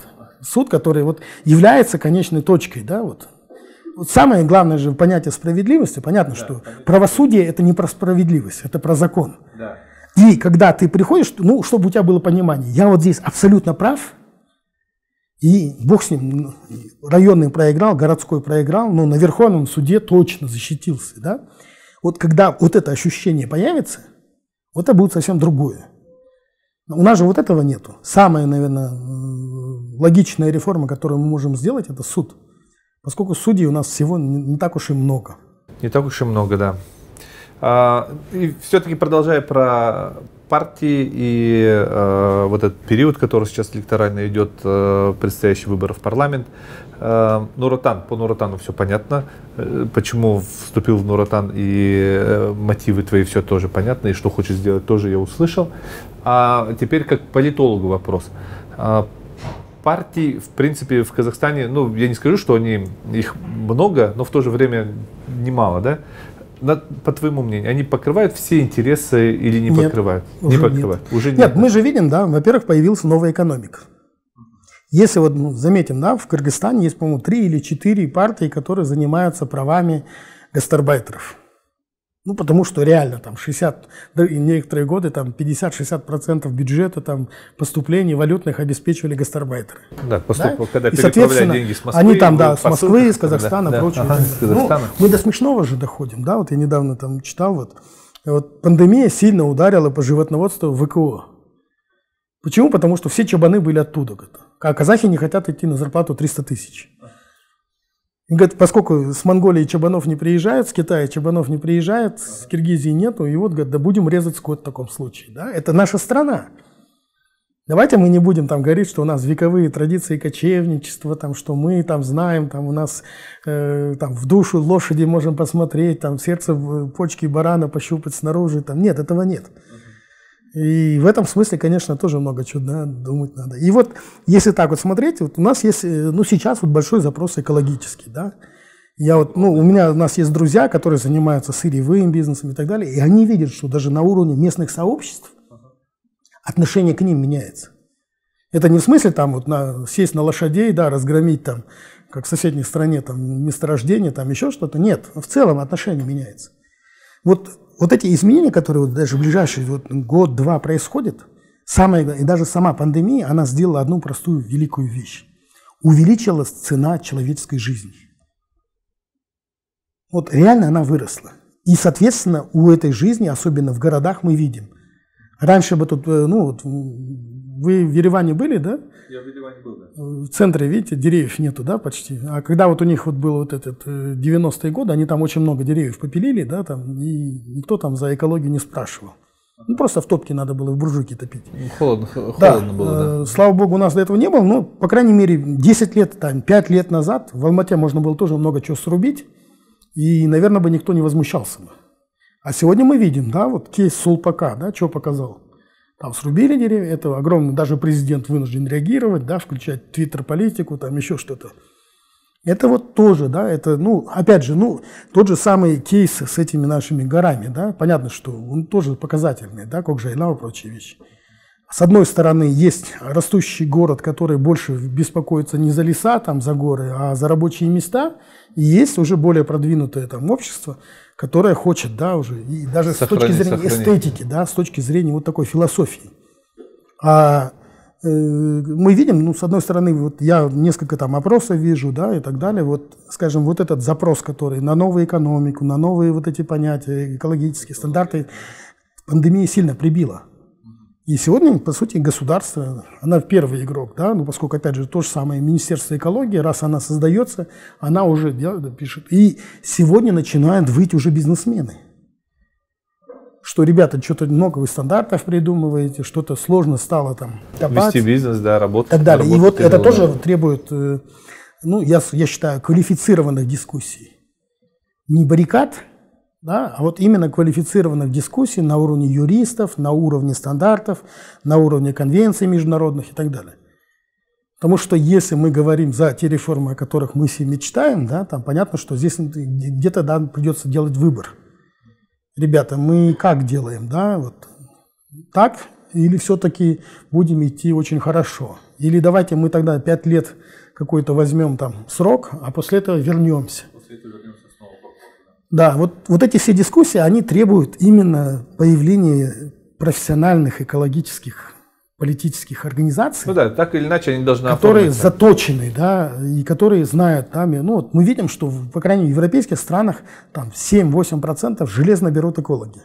Зеленые партии, да, они, да. как правило, побеждают уже с 90-х годов. И, и поскольку годов они, они, стали... они, скажем так, не, скажем, в политическом спектре ни правые, ни левые, они зачастую становятся частью больших коалиций потому что надо добирать, да, вот, ну, и, тоже, как правило, и голос становится еще и решай, решающим. Да, и решающим, да. да, их, по крайней мере, да. вот эти 7%, они являются определяющими. Вот со следующего года, нравится это кому-то, нет, мы реально получаем партийное правительство.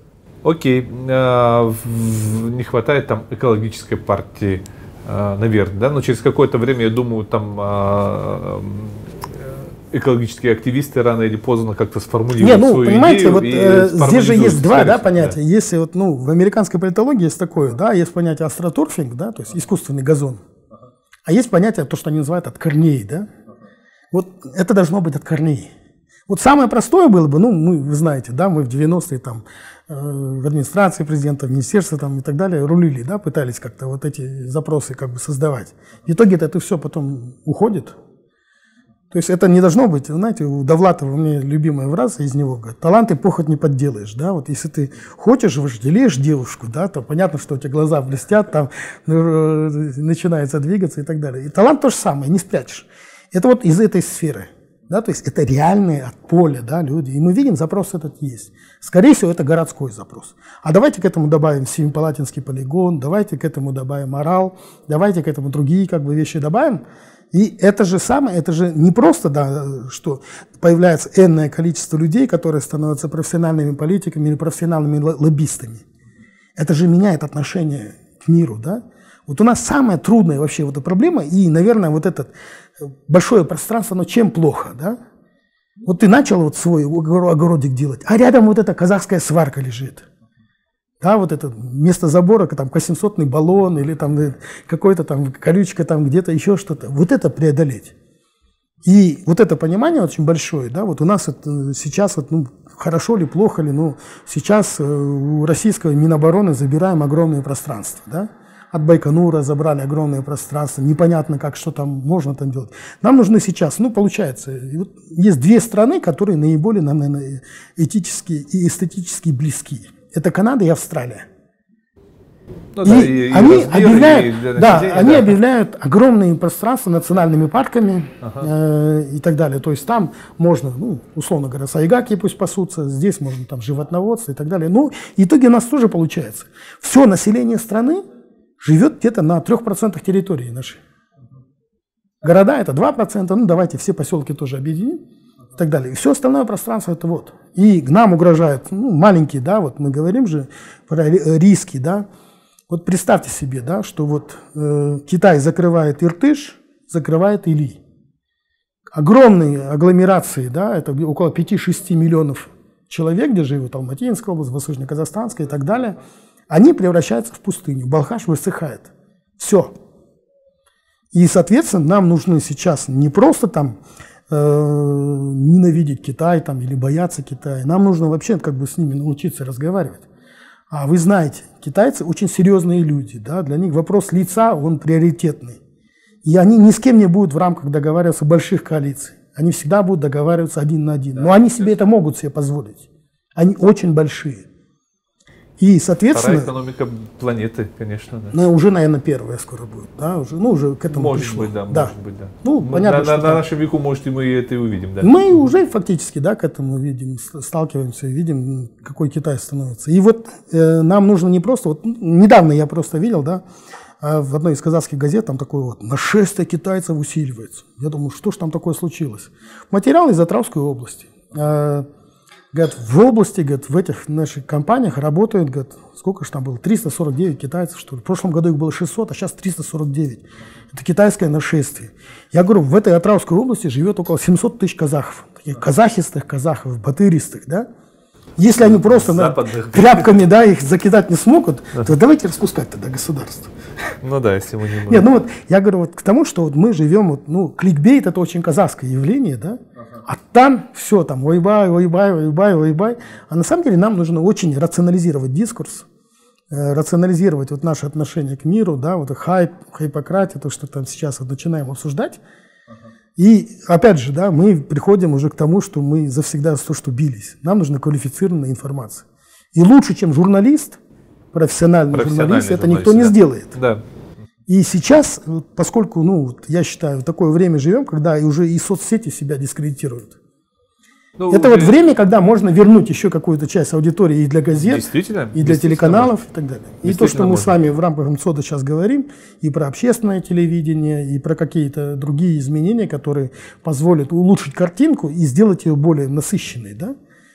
Ну, мне, по крайней мере, ну, вчера мы там, все там обсуждали, там, можно ли драться на ток-шоу, да, там, на 31 канале. Нет, ну, есть же как бы кейсы уже, да, то есть... Уже есть кейсы. Из, из закрытых тем, из современной, да, да, закрытых уже. тем становится меньше, да, и такого, что я, вот я что-то сказал там э, на телеке, да, и после этого там обвалилась страна, небо там опустилось на землю, Каспий высох, такого нету.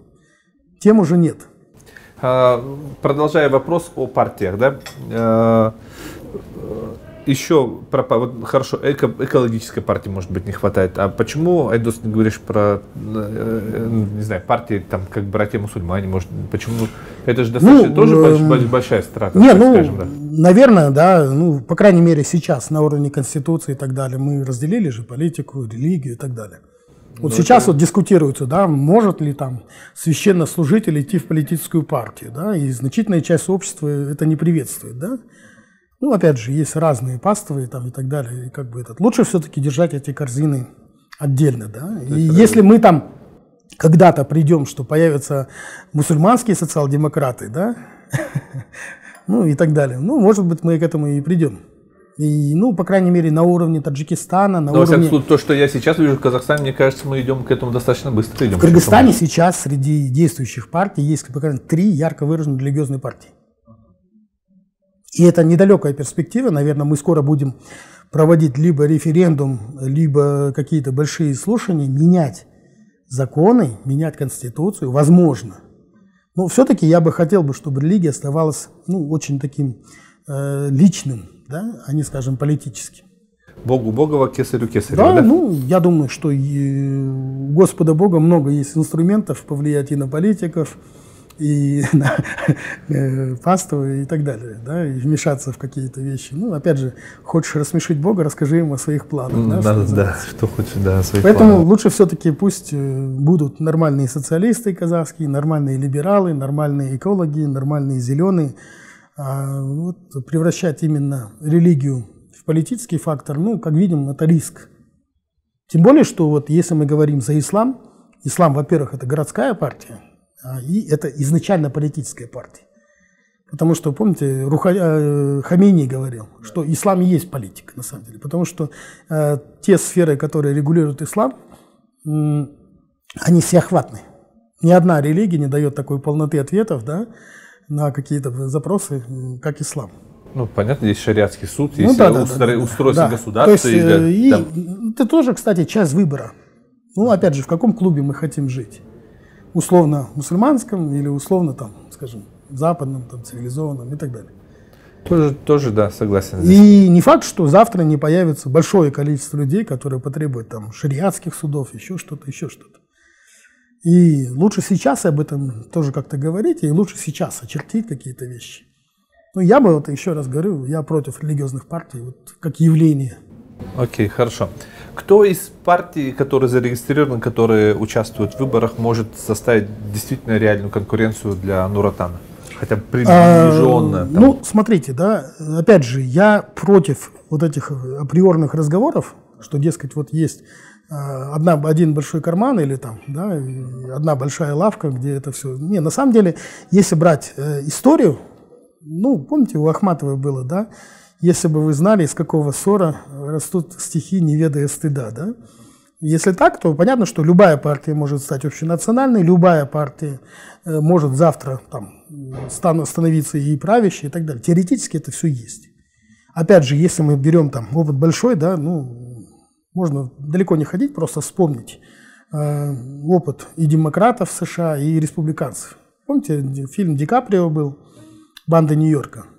Э, Какая это была коррупция, какая это была. Потом американцы немножко научились, начали праймерис проводить, и сенаторов сами избирать начинали, да, то есть очень много. То есть теоретически любая из них может развернуться, да. Но самое главное, что партия – это машина по завоеванию власти. Нравится кому-то или нет, это машина по завоеванию и удержанию власти. Любая партия. И дай бог, чтобы они именно стали такими партиями. Неважно, кто сейчас туда придет, как придет, но главное, чтобы это было именно желание. Да? То есть за ними должен быть энное количество людей, которые платят партийные взносы, которые голосуют из года в год и так далее. Это часть вот этой политического ландшафта и культуры. Раз. А во-вторых, все-таки, если мы берем уже про действующие партии, то мы видим, очевидно, у парламентских партий всегда есть козырев больше. Да? То есть им не надо платить взносы, то есть заявлять максимально большое количество в маслихаты. А вот 10 числа, когда закончится процесс выдвижения, мы увидим, какой потенциал, реальный человеческий потенциал. То есть, условно говоря, найти э, 10 человек или 15 человек в условном Аккаинском районе или там э, районе Атравской области – это проблема. Но если ты хочешь быть большой общенациональной партией, то есть у тебя в каждом районе должно быть хотя бы 4-5 человек, за которых ты несешь ответственность. И еще сильных лидеров, пользующихся Ну, желательно, да. То есть, Ага. ну, фактически мы говорим даже так, вот мы собирались там, обсуждаем, где, скажем, Аким наиболее токсичен в каких-то районах и так далее, там Ротан может и потерпеть поражение. То есть физически из-за Акима все пойдут и проголосуют за любую другую альтернативу. И в будущем в каком-то районе может оказаться, что там 60-70% там условного маслихата, да, это представители другой партии, которые уже будут диктовать Акиму, да, какие-то вещи. И он будет вынужден с этим считаться. И главная особенность момента в том, что сейчас, по- помимо цены человеческой жизни, да, цена выросла и у представительных органов, и законодательных органов. И с каждым годом она будет расти. Окей, хорошо. Ну и блок таких достаточно быстрых вопросов, уже вот про многое проговорили. Эм, э, Тоже можно на, на усмотрение, можно длинно, Да, можно коротко проблем. от- отвечать. Там, по э, национальному вопросу очень часто обсуждается, э, мы казахи или казахстанцы. Ну, мы много раз спорили, я с тобой Да. на эту тему много раз спорили, да, как бы. Ну, я считаю, мы Да. казахи. При этом мы можем быть казахами разного происхождения. Русского, евангельского, апостольского, какого хотите. Вот как раз, да, на этом месте мы с Гульнарой спорили. Я как раз стою за позицию, что мы казахстанцы.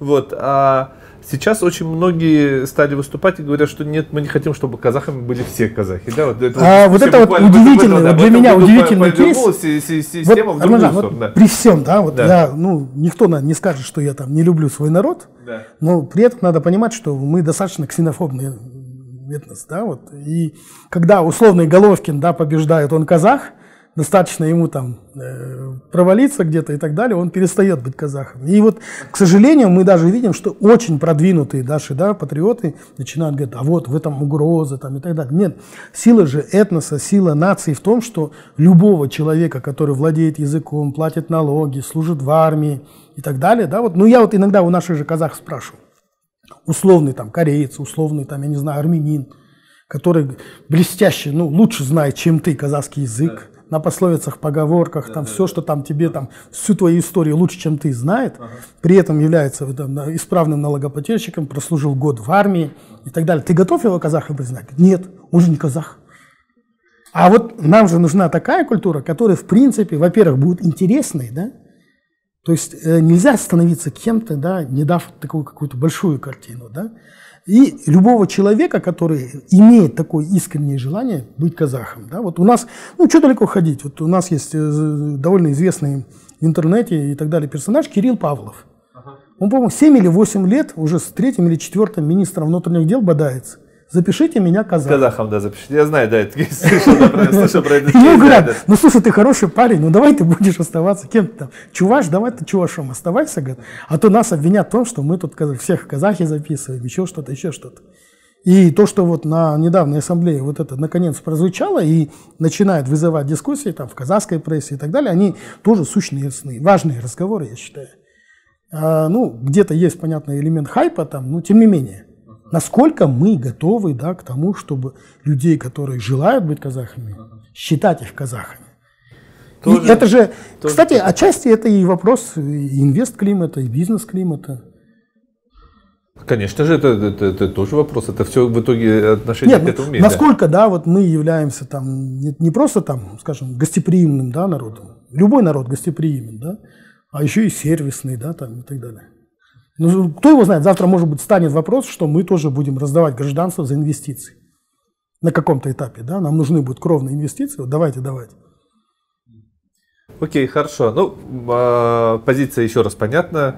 Э, твердо стоишь на позиции, как, как, как и раньше, это, это, это радует. Языковой вопрос. Языковая вот тема по а, языковому вопросу, по языку вообще, честно говоря, вот я смотрю в последнее время, накал дискуссии как-то отходит уже на второй план, да, как бы уже там, э, в принципе, все понимают. Нет, он, что... он становится, мне кажется, более, скажем, более структурным, глубокий, да, более, глубокий, более структурным. Да, И, опять же, э, люди, да, вот, ну, языковой же вопрос, он не только связан там с, с чистым виде филологии, да, он связан с функциональностью, он связан с образованием, он связан вообще с картиной мира. И понятно, что он там в любой момент его можно возбудить и так далее. Но вот я считаю, вот идеально было бы, скажем, во-первых, ну, наш закон о языках, это закон 89 -го года, еще Колбинский закон. Я все что-то забыл. Да, это вот единственный, единственный, да, со всеми поправками, это единственный закон, который нам достался от Казахской ССР. Ничего себе. И пролонгирован. Не, да? То есть, соответственно, он должен быть э, ну, обновлен. Скорее всего, нужен закон ну, о государственном новый, языке. Новый, новый не закон. Закон о, именно о госязыке. Не языках, а о госязыке. И второе, наверное, да, есть там Люблянский документ ОБСЕ, другие э, большие рамки, которые обеспечивают на законодательном и так далее уровне права этнических меньшинств, культурных меньшинств, которые хотят да, изучать. То есть вот если как бы, ну, у нас же государство-то очень много делает, да, у нас есть этнические школы, мы видим. Хотя я вот разговаривал там с узбеками, таджиками, они говорят, вот э, поскольку там рынок очень маленький и так далее, мы лучше будем отдавать в казахские школы с тем, чтобы могли интегрироваться, да, вот лучше. Потому что если ты хочешь дальше продолжать, ну, ты всю жизнь учишься в узбекской школе, а потом приходит время получать там профессиональное либо высшее образование, тогда у тебя кроме Узбекистана ничего не остается. Да, или, или таджикские школы у нас, на югах, да, по крайней мере. И здесь тоже есть вопрос. И, скажем, ну, у меня есть там очень, ну, ты тоже прекрасно знаешь, там, э, наши старшие товарищи, которые сейчас в Израиле живут, э, которые говорили, на самом деле, вот говорят, в Израиле очень просто. Говорят, там все детские сады на иврите. Дома ты можешь разговаривать на корейском, на табасаранском, там, на андонасанском, на, на идише, да. ничего хочешь. Но детский, детский сад, сад это именно вот первый институт, который, скажем, огосударствляет да, ребенка, там, ну, объясняет основы культуры, делает этот мир. А дальше там понятно, что там очень такой э, Нельзя сказать, что евреи там являются космополитами, да, там не любят свой народ или свой язык, свою историю. Нет, это очень заточенный народ, мы знаем. Но тем не менее, как бы вот такие вопросы, они есть, и их надо тоже правильно обсуждать. И вот, если мы говорим там за 30 лет независимости, да, я жил в Алмате, в которой была одна казахская школа, а сейчас 150. Ну, сейчас в основном школа на ну, да. казах. Ну, и, соответственно, 70-80% первоклашек, уже 90% да. это уже На казахском языке, да, в школе. И э, даже в университетах мы видим, да, то есть уже выросло поколение людей, которые говорят, объясняйте нам на казахском. Говорите нам, объясняйте, делайте и так далее. И ну, есть и международные большие рейтинги, да, которые мы же там априорно там начинаем говорить, что вот, дескать, у нас старшее поколение более образовано, чем молодое. Нет, не так оказывается. Uh-huh. ну, есть вот это математическое, ну, ПИСа, да, вот эти вот рейтинги, которые функциональности, да, там, решение задач, умение логически строить, э, умение там знать э, какие-то первоосновы там наук и так далее. Это в целом проседает везде, да. И это тоже вопрос, который завязан уже на экономику. Да? Нам же уже сказали, да, то есть мы только на пандемии, на этих э, дистанционных уроках мы теряем миллиарды долларов уже. Еще э, вопрос, ну его нельзя, конечно, в Блиц, конечно, не совсем правильно было ставить. Вопрос, который меня вот беспокоит, мы все же находимся, интеллигенция все постоянно думает по поводу, э, какая может быть национальная идея для всей нашей страны, такая объединяющая. Никогда не думал, что могло бы вот всех соединить, всех сшить, вот как быть ну, цементом. Смотрите, да, э, тема, которая очень много дискутируется, да. ну, в силу того, что мы вышли из совка, ага. э, любая национальная идея у нас, она уже априорно немножко дискредитирована, да? То есть она уже либо становится там давлеющей, как шестой пункт в Конституции там, и так далее, да?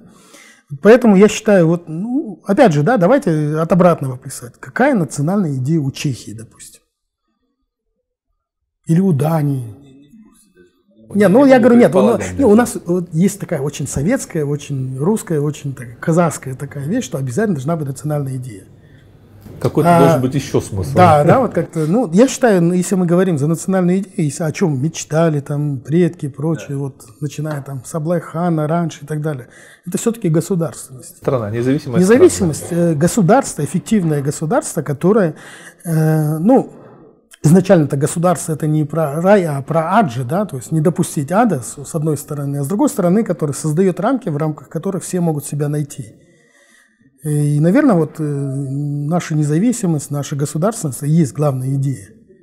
И именно вот эта э, рамка, она позволяет всем остальным быть да, успешными, создавать бизнес, там, заниматься скрипкой, э, быть там, защищать свои права там, в качестве там, инвалида, еще чего-то, еще чего-то. Как-то, если вот, вот это мы правильно как-то объясним, потому что я говорю, это очень советская привычка, вот именно, что должна быть вот прописана.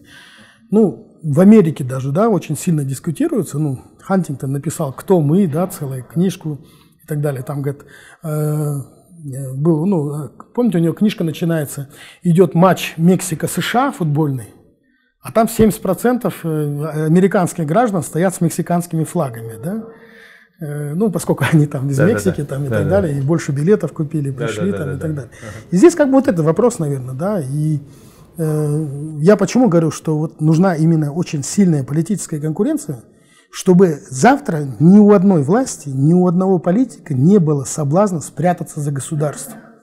Повторяюсь, государство – это все мы, все 19 миллионов человек, все взрослые граждане, которые могут принять решение и так далее. Ну, я всегда говорил, если какой-то антиказахский заговор в стране существует, то в нем участвует все взрослое население. Ну, за младенцев говорить не будем.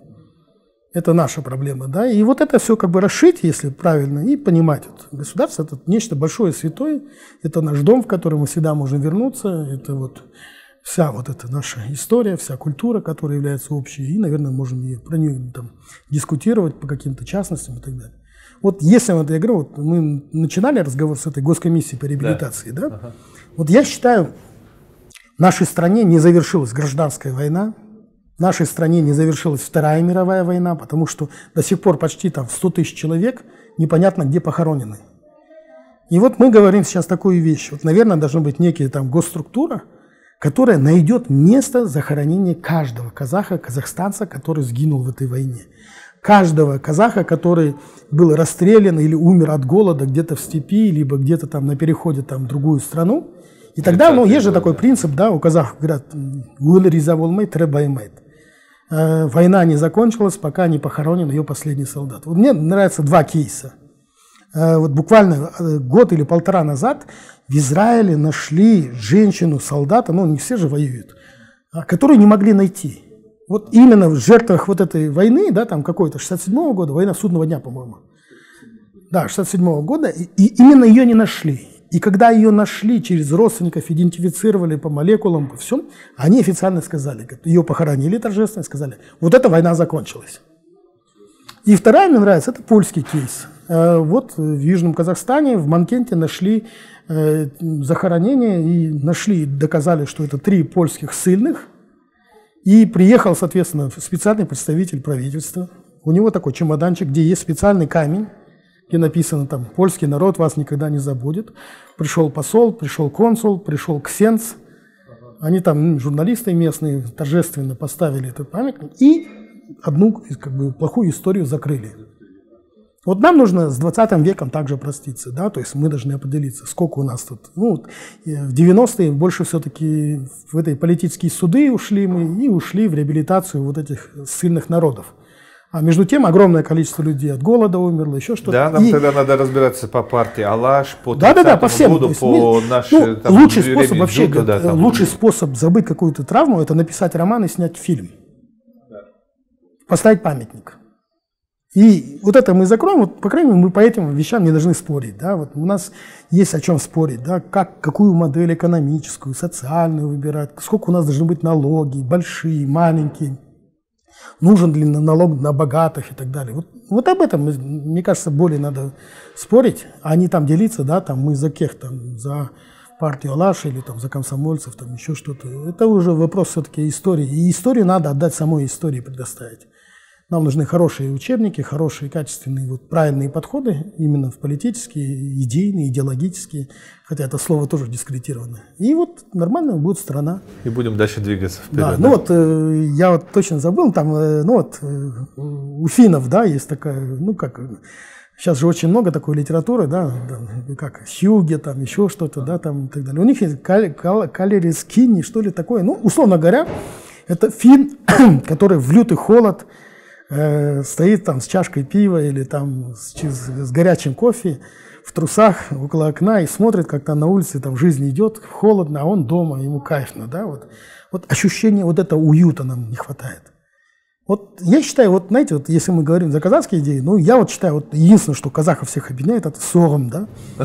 Все там собираются, здесь что-то булькает в казане, все довольны, посмотрели, сколько пальцев, пальцев там, да, жир, да, да, там все довольны, обнимаются. Вот что-то на этом уровне, вот что-то вроде Дня Благодарения, сором. вот если мы как-то вот так вот что-то придумаем, что... ну и плюс вот наши мощные все-таки социальные связи. Это что нас отличает? Независимое государство, а, красивый, Которое теплый, создает хороший, дом, да, да. хорошее настроение и чувство справедливости, защищенности для всех. Это идеальное государство. Это идеальное государство. Алёс, большое спасибо за интерес, содержательную беседу. А, надеюсь еще раз встретиться, но уже после 10 января и проговорить, может быть, а, за будущее еще да. дальше, да, как бы буду, буду очень рад. И тем более, что вопросов к политологам – действительно сейчас очень-очень много. Может быть, в следующий раз мы будем совсем заранее предупреждать о встречах, для того, чтобы да, вы составляли вопросы уже Я от готов. аудитории, более, более активно аудитория участвовала в составлении вопросов. Большое спасибо за содержательную, спасибо, интересную удачи. беседу.